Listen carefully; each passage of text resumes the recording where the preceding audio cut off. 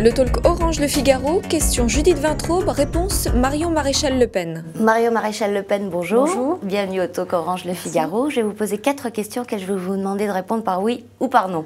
Essayez. Euh, Le maire de Sevran, Stéphane Gatignon, vient d'obtenir que l'Assemblée vote une dotation supplémentaire pour les communes pauvres. Est-ce que ça veut dire qu'il a eu raison de faire la grève de la faim? Oui, à expliquer, mais oui. Serez-vous candidate au municipal à Carpentras? Pas tête de liste. Mais euh, peut-être pas Carpentras non plus.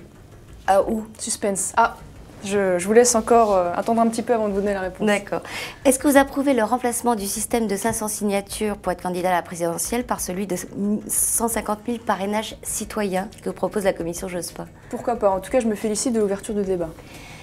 La même commission propose aussi d'élire 10% des députés à la proportionnelle. Ça vous satisfait? C'est insuffisant, mais c'est déjà un premier pas, disons.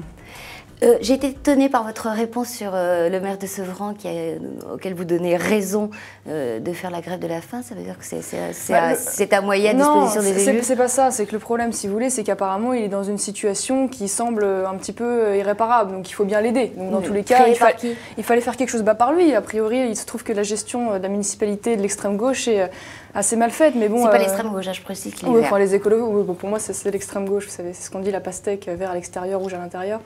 Mais euh, en l'occurrence, euh, c'est lui qui devrait se remettre en cause. Mais étant donné qu'il est dans une situation indépassable, il fallait bien de toute façon faire quelque chose, ne serait-ce que pour la population. Mais il ne faut pas s'étonner, à force de concentrer aussi euh, dans certains secteurs des gens, majoritairement d'ailleurs d'origine immigrée, qui ont des, un, un faible niveau de vie. Euh, de fait, bon, il y a des difficultés de rentrée d'argent et euh, c'est vrai que, en l'occurrence, le- leur idéal de multiculturalisme à Seine-Saint-Denis semble pas très bien fonctionner c'est quand même un département qui est en souffrance malheureusement. Ah oui, donc vous voulez exonérer de sa gestion, vous dites que c'est la faute de euh, Non, à l'immigration. non, non, non, je, dis, je vous dis juste Bah, évidemment, non, mais évidemment qu'il y a une gestion, mais c'est aussi leur vision, si vous voulez, de voilà, on, on voit bien d'ailleurs Seine-Saint-Denis concentre euh, une grande majorité de population immigrée qui de fait c'est pas de leur faute, mais sont vivent dans des situations plutôt précaires et, euh, et, euh, de ce fait-là, il y a des difficultés de rentrée d'argent dans ces villes-là. Donc à force de faire de la mixité par le bas, on en arrive dans ce type d'impasse. Si je veux dire, temps, ce serait bien de faire de la mixité sociale par le haut. On va passer à un autre sujet, le gaz de schiste. Je vous propose d'écouter ce qu'a dit François Fillon ce matin.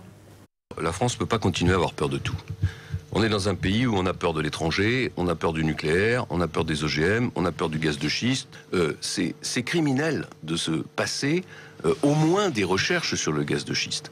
C'est absolument criminel et surtout ça dénote une, un- une tournure d'esprit qui est une tournure d'esprit euh, moyenâgeuse. Mais comme Michel Rocard, qui décidément est franchement un des esprits les plus éclairés de ce pays, euh, l'a dit il y a quelques jours, euh, le, gaz de lac était extrait par fracturation hydraulique et à l'époque ça ne faisait de peine à personne. Alors, je rappelle que François Hollande a décidé, pour faire plaisir aux, aux Verts, d'arrêter la recherche euh, sur le gaz de schiste. Que pensez-vous de ce que vient de dire François Non, moi je trouve, je trouve que c'est une erreur d'arrêter la recherche. Je trouve qu'en l'état, il n'existe qu'une seule technique qui, a priori, euh, C'est la est, fracturation exactement, hydraulique. est extrêmement dangereuse, semble-t-il, d'après les études pour l'environnement. Ouais. Moi, je suis pour l'indépendance énergétique, mais pas à n'importe quel prix. Et je trouve que le prix de l'environnement est bien cher payé. Mais euh, en tout cas, en l'état, je ne suis pas pour son extraction, mais je pense qu'en effet, il faut continuer les recherches pour essayer de trouver des méthodes moins intrusives, moins dangereuses. Euh, François Fillon, comme vous le savez, est candidat à la présidence de l'UMP contre euh, Jean-François Copé. Je. Est-ce que pour vous, Copé-Fillon, c'est pareil? Oui, honnêtement, il n'y a pas fondamentalement de grosses différences, si ce n'est que j'ai l'impression que M. Copé joue un peu plus de, démagogie dernièrement, il joue un petit peu les gros bras, donc il est un peu plus dans ce petit côté un peu hableur, si je puis dire, qu'avait d'ailleurs Nicolas Sarkozy, mais fondamentalement, en réalité, sur le fond, il y a assez peu de choses qui les différencient, si ce n'est peut-être euh, leur position vis-à-vis de nous. Ah oui En quoi Bah, Il y en avait un qui était pour euh, le Nini, enfin un pour le Front républicain et un pour le Nini, donc euh, ni gauche ni Front républicain, donc voilà, c'est peut-être la seule différence majeure, disons. Et Quand, vous dites un peu hableur, euh, vous, vous- vous pensez à quoi?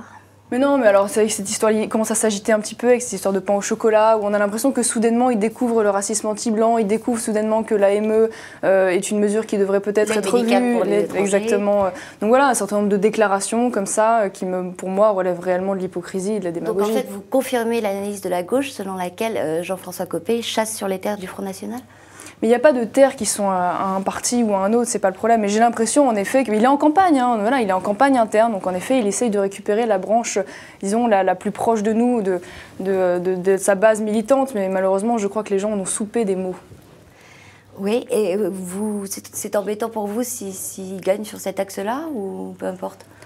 Euh, non, je crois que ça prendra pas de toute façon. Hein. Clairement, moi j'ai bien vu sur le terrain, il y a une réelle désillusion. Sarkozy a, suscité énormément d'espoir, mais a aussi créé une énorme désillusion. Et donc je pense il a perdu la présidentielle, mais depuis sa cote euh, s'est nettement redressée dans les sondages. c'est normal, c'est le, petit coup de revers, mais je pense que ça ne durera pas très longtemps. Mais c'est vrai que moi je, je, vois dans le Sud, je pense que de plus en plus les gens viennent par lucidité à nous, parce qu'ils en ont un petit peu soupé, si vous voulez, de l'alternance gauche-droite qui depuis 30 ans les a menés au bord du gouffre.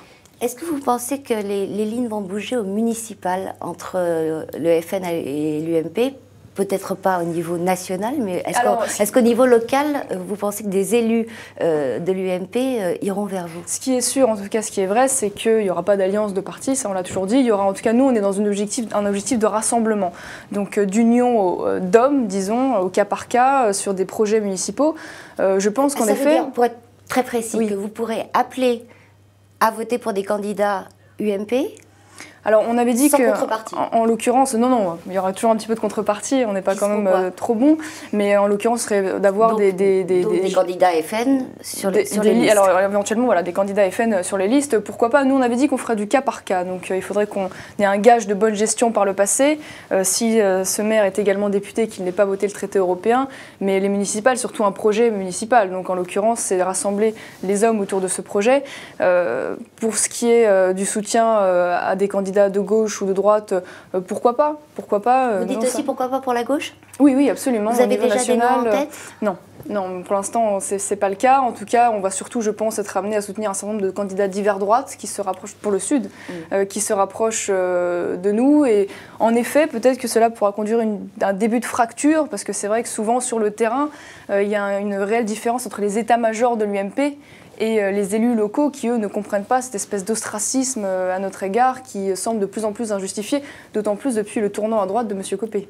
Euh, quand vous dites éventuellement des élus de gauche, c'est parce que pour vous, la, différence fondamentale n'est pas entre la gauche et la droite Qu'est-ce qui pourrait vous attirer? En l'occurrence, on considère que ce clivage est largement dépassé. On considère que de gauche socialiste ou c'est Le clivage gauche-droite, en tout cas en, France, est largement dépassé, puisqu'en réalité, ils s'entendent sur un certain nombre de, de problématiques, notamment Europe sur l'Europe et, l'économie en réalité. donc, euh, donc euh, en l'occurrence, on considère que c'est quelque chose qui est, euh, qui est dépassé. Donc de ce fait-là, on peut être amené à apporter notre soutien, pourquoi pas, à des candidats de droite comme de gauche, si tant est qu'ils soient patriotes et qu'ils aient, par le pensée, montré qu'ils étaient capables de gérer correctement leur ville. Le, message est passé. Marion Maréchal Le Pen, merci, au revoir et à bientôt. Au revoir.